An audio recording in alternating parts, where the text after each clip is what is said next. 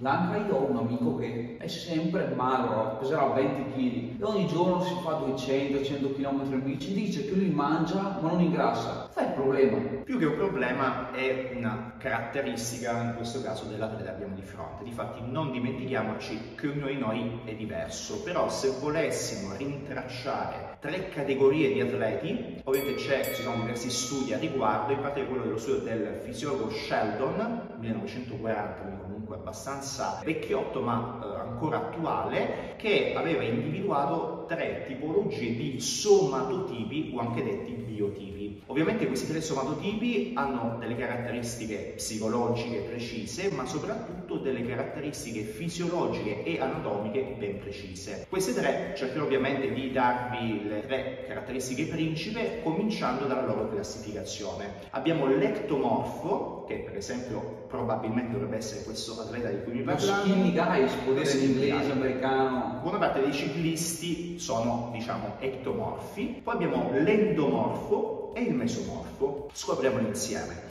Allora, intanto partirei dall'ectomorfo, che è quello che probabilmente più ci riguarda. Io personalmente sono un ectomorfo con tendenza al mesomorfismo, adesso vi spiego anche l'ibrido.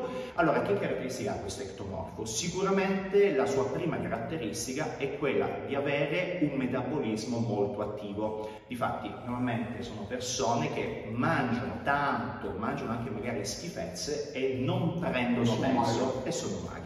Quindi questa è la prima caratteristica. La seconda è che hanno quindi una massa grassa molto bassa, raramente superano il 12-14%, sono più facilità intorno al 10 anche sotto. Altro parametro è una massa muscolare però molto bassa o comunque hanno grande difficoltà a prendere. Infatti questo mio amico, voglio mica prendermi in giro che al fondo quando va in bici tanti chilometri riesce ad andare con i professionisti e tutto, però appena c'è da aumentare ovviamente fa fatica, poverino, non perché non si impegna che ma non ha muscolo, esatto. quindi non riesce mica a fare la differenza. O meglio, è un qualcosa che appunto da qui mi aggancio alle sue caratteristiche metaboliche. La caratteristica metabolica dell'ectomorfo è quella quindi di avere poche fibre muscolari, ma soprattutto una prevalenza di fibre muscolari di tipo rosso, quindi cosiddette fibre ossidative, quindi quelle che sviluppano energia sulla lunga durata. Invece abbiamo una carenza, e ci metto io di mezzo, di fibre bianche, quindi fibre di forza. Lo scattino in effetti, quello esatto, lo scattino. scattino. Io per sono un tipo molto lento sulla bici, io ho una buona resistenza ma non riesco a far aumentare con facilità i watt. Quindi questa è la loro caratteristica e da qui tiriamo fuori quindi due consigli, sia dal punto di vista nutrizionale che di allenamento. Mangia. Allora, il primo è mangiare tante, quindi una dieta necessariamente ipercalorica, quindi dobbiamo assumere almeno il doppio dei fabbisogni. Sì, torte, pasticci, sì, anche quelli ogni tanto, ma non è che da domani dice domani mangi tanto, ti mangi a meno torta, biscotti. Diciamo che il carboidrato deve essere ovviamente il substrato principale, quindi una dieta iperglucidica e iperlipidica e dovete cercare di evitare un apporto elevato di proteine. Quindi questo o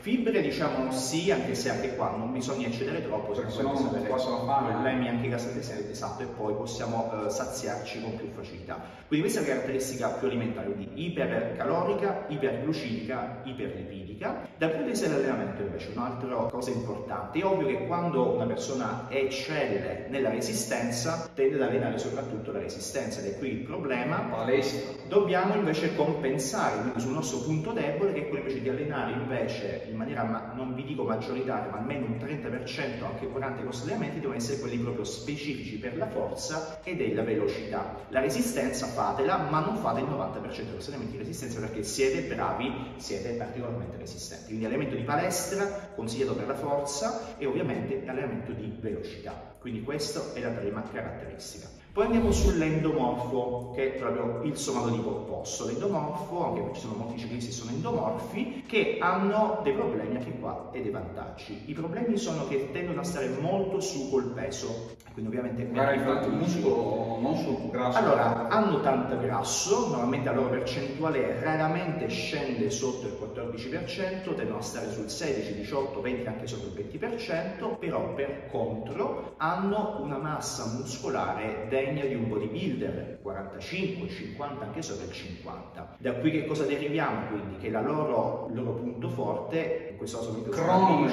il cronoman o comunque potrebbe essere anche una persona quello che sviluppa molti watt in poco tempo, quindi gara a circuito, gare C, mountain bike. Quanti amatori forti su così perché hanno gare brevi di qualità. Là ovviamente anche se il peso è un po' più alto però hanno una gamma che spinge, che produce tanti watt e quindi questo è il loro vantaggio. Quindi da qui dobbiamo dire anche qua due consigli. Per quanto riguarda l'alimentazione, poiché il loro metabolismo non è attivo come quello dell'ectomorfo, si tende a stare su un'alimentazione normocalorica o meglio ancora ipocalorica. Non troppo ovviamente se non ce la fate, ma leggermente sotto i propri fabbisogni.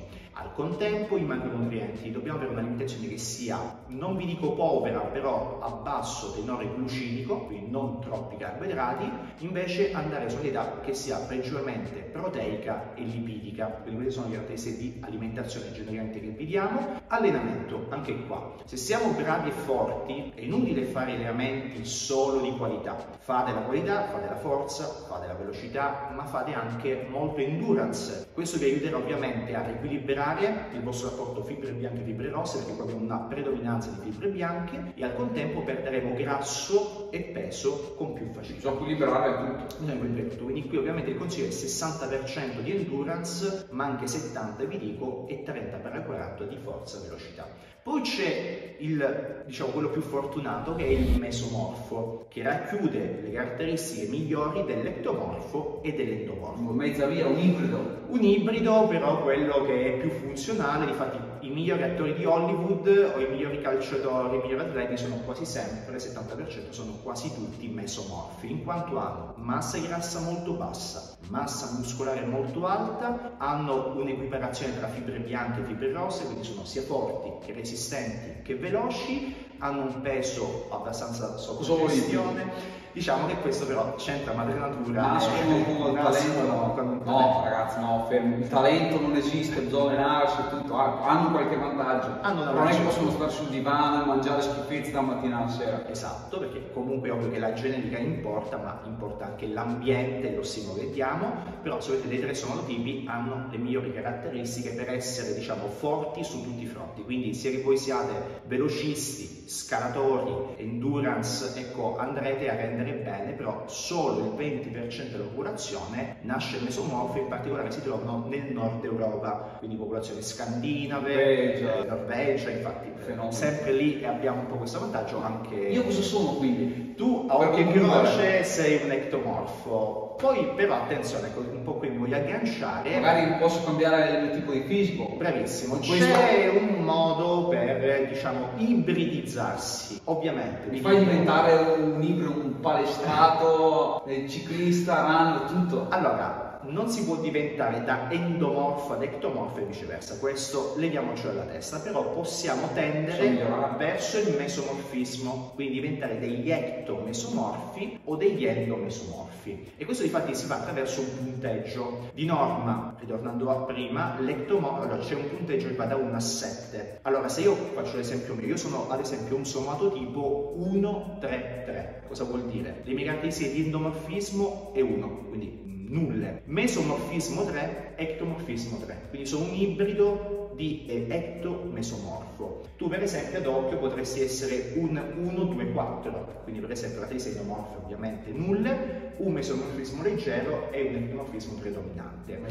Come si cambiano questi parametri? Quindi come si potrebbe diventare per esempio un 1-3-3, un 1-4-2, quindi andare sempre più verso il mesomorfismo, cercando di modulare l'allenamento. Quello che diciamo prima, se io ovviamente il mio punto forte è l'endurance, sviluppo più allenamento di forza, più allenamento di velocità e il mio corpo nel tempo ovviamente potrebbe andarsi ad ibridizzare. Ovviamente ci sono anche dei soggetti che rimangono bloccati nel proprio gabbia, tipo una sorta di gabbia e a volte la genetica è predominante, però il più delle volte ho assistito a persone, ad atleti che sono riusciti a uh, mutarsi, tra virgolette, a ibridizzarsi verso questo somativo un po' più ibrido, più misto, quindi valutare non solo l'allenamento principale, ma quello potrebbe essere il potenziamento, la palestra, eh, il crossfit, il core, introdurre la piscina, tutte quelle attività annesse, funzionali alla performance, ma anche funzionali a cambiare le nostre caratteristiche anatomiche e muscolari, potrebbe aiutarci nel migliorare il nostro parametro di fitness. E quindi ragazzi che dire, se anche voi volete sapere che sommato tipo siete, Esatto. contattate il dottor Blanca, il link qua in descrizione, usate il codice sconto il capitano di P per ottenere un bello sconto e risparmiare e usare soldi in barretta energetica oppure per pagare le bollette che ultimamente sono costose e niente, ci vediamo nel prossimo episodio, iscrivetevi e lasciate un mi piace, ciao a tutti. Ciao ragazzi, alla prossima!